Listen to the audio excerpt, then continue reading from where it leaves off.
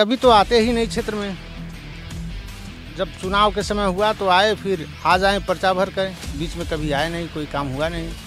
चाहता हूँ लेकिन ये फिर ये अनिल राजभर जो हैं हमारे क्षेत्र से प्रत्याशी वो, सही नहीं है।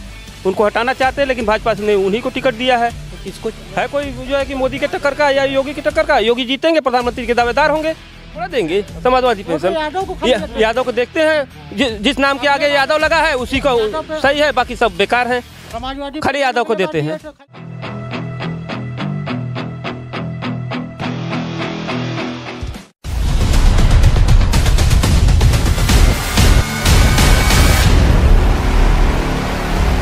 उत्तर प्रदेश विधानसभा चुनाव 2022 का आगाज़ हो चुका है।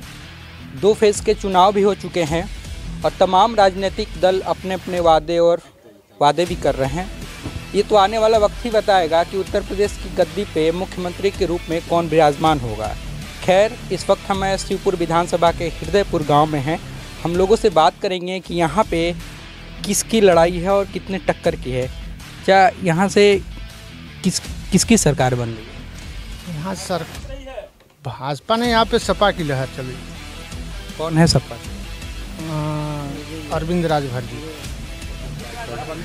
अनिल राजभर जी भी हैं मंत्री भी हैं कैबिनेट में और पिछली बार जीते भी थे प्रचंड बहुमत से जीते थे। क्या लड़ाई क्यों इस बार डाउन ये कभी तो आते ही नहीं क्षेत्र में।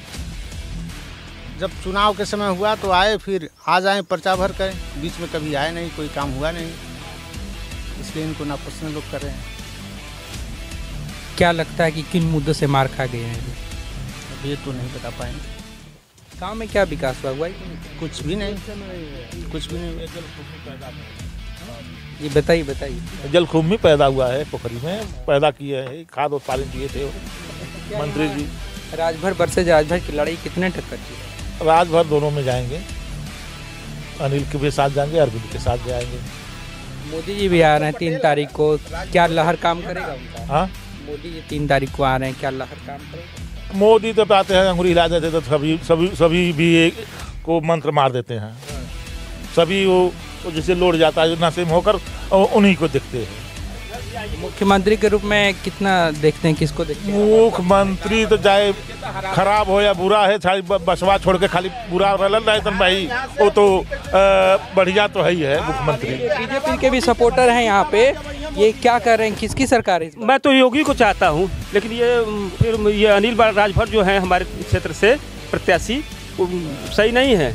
उनको हटाना चाहते हैं लेकिन भाजपा ने उन्हीं को टिकट दिया है। तो किसको चाहते थे?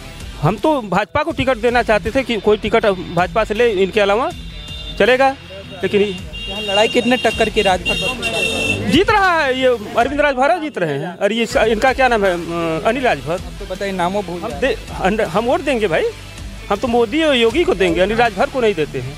रमेश जी तो बहुत वादा कर रहे हैं इस बार फ्री में बिजली। चलते फिरते लोग हैं ये सब केवल गुंडागर्दी बल पर चल रहे हैं ऐसे नहीं चलते हैं ये लोग। गुंडागर्दी चलती है इनकी। मुलायम सिंह तो गए अब काम खत्म उनका हो गया। मायावती मायावती लड़ाई भी नहीं है और ये जीत कर करेंगे क्या? अरे पूरे हिंदुस्तान को जो है कि वो दे रहा है अन्न दे रहा है सब कुछ दे रहा है खाने पीने का सामान दे रहा है क्यों नहीं हम देंगे? क्या देगा? मुलायम जीत के क्या करेंगे? क्या देंगे हम कर अखिलेश के लिए प्रचार। अखिलेश के लिए प्रचार प्रसार कर रहे हैं? कोई नहीं कर रहा है प्रचार प्रसार। ये चार सौ बीस कर रहा है वो तो वो जो उसका क्या नाम है? शिवपाल यादव। शिवपाल यादव गुंडा था वहीं सब पैसा ले लेके नौकरी लगाता था। अब कौन लगा रहा है? अब कहाँ पैसा लग रहा है? है ठीक है मुख्यमंत्री हैं। यहाँ पे लड़ाई किसकी? है लड़ाई तो यहाँ यहाँ तो दोनों तरफ़ लड़ाई है। लड़ रहे हैं दोनों लोग ऐसी कोई बात नहीं। जीत किसकी होगी? जीत अभी क्लियर नहीं कोई बता पाएगा। बार तो बीजेपी जीती इस बार हाँ इस बार भी जीतेगा बीजेपी। कंफर्म दावे के साथ? हाँ वो तो दावे के साथ है। लड़ाई नहीं है राजभर वर्सेज राजभर। कोई जरा हिलाने वाला नहीं है। बहुत सर उनको वोट पड़ेगा। गाँव में कुछ बदलाव हुआ इन चार पाँच बदलाव तो नहीं हम लोग के तो कोई बदलाव कुछ नहीं हुआ है। जब से नगर निगम होता हुआ है जब से यही झाड़ू खाली लगता है और तो कोनो कुछ होता नहीं। गाँव गाँव का नाम हृदयपुर में कितना कितना हृदय बसाए आप? बहुत अच्छे हैं। अब इस टक्कर के कोई नेता नहीं है। है कोई जो है कि मोदी के टक्कर का या योगी की टक्कर का? योगी जीतेंगे प्रधानमंत्री के दावेदार होंगे। और लगता है कि कितना होना चाहिए कुछ विकास होना चाहिए? विकास तो हो रहा है। हर जगह हो रहा है विकास।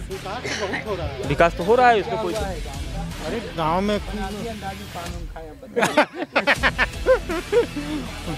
गाँव का गाँव का है ना रोड इतनी बढ़िया बनी है हाईवे बन गया जिसके पास ज़मीन नहीं अखिले- अखिलेश जी कहा कि बिजली इस बार फ्री में देंगे। ओ, क्या वो इसके पहले दिए थे? क्या दिए इसके पहले? इसके पहले क्या दिए थे? थे ना? उनके पिताजी भी मुलायम सिंह भी थे अखिलेश भी हुए क्या दिए? आठ घंटा बिजली आती थी। आठ घंटा वो भी रा, रात में सोने के बाद बारह बजे सो समाजवादी पेंशन योजना हैं। ये सब पता नहीं वो उनके चेले चपड़े को देंगे कि सबको थोड़ा देंगे? समाजवादी पेंशन यादव को खाली ये- यादव को देखते हैं। जि, जिस नाम के आगे यादव लगा है उसी को सही है बाकी सब बेकार है। समाजवादी खाली यादव को देते हैं। तो खाली यादव को मिल रहा था और किसी को मिला जातिवाद उनके अंदर है। मोदी मोदी और योगी के अंदर जातिवाद नहीं है। वैसे है तो सबसे अच्छे जो है कि वो अरविंद केजरीवाल। इन लोगों से अच्छे केजरीवाल भी तो आ रहे हैं। हाँ तो थोड़ा डाउन है ना। यूपी में डाउन हाँ कहाँ से जीत पाएँगे? किसको किसको वोट दे रहे हैं आप इस बार? किसको जिता रहे हैं? भाजपा को। कहें भाजपा को? अखिलेश को नहीं देंगे? नहीं। अरे सब हम हमारा थोड़ा मानसिकता जो है हम करेंगे ना। अच्छा वो वैसे भी यूपी में है। क्या कुछ हो- ओवैसी तो मुसलमान है देश को बांटने वाले हैं देश को तोड़ रहे हैं। ओवैसी को कौन वोट देगा? ओवैसी को तो जो है कि हटा देना चाहिए एकदम। काटेंगे अखिलेश का तो फ़ायदा तो बीजेपी हाँ। बिल्कुल होगा।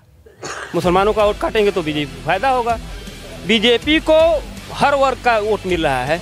और जो ये हैं यादव जी यादव का मिल रहा है। और कुछ बनारस कितना बदला? प्रधानमंत्री का संसदीय क्षेत्र भी आप लोग देख रहे हैं अभी। ये है। अरे काशी विश्वनाथ मंदिर देखिए जा करके आप देखिए कितना वहाँ तो चले जाएँगे तो भूल जाएँगे कि हम कहाँ आ गए। बहुत विकास हो रहा है। हर जगह रोड बन रही है हर जगह सब कुछ हो रहा है। इसमें कोई दो राय नहीं है। हाँ। कितनी गंदगी बनारस में घूमने पर पूरा बनारस साफ़ सफ़ाई हो गया। अच्छा। तो आने वाला वक्त ही बताएगा कि हृदयपुर के हृदय में कौन उतरने वाला है और उत्तर प्रदेश की गद्दी पे मुख्यमंत्री के रूप में कौन विराजमान होगा? वाराणसी से अविनाश कुमार पांडे, उत्तर प्रदेश समाचार।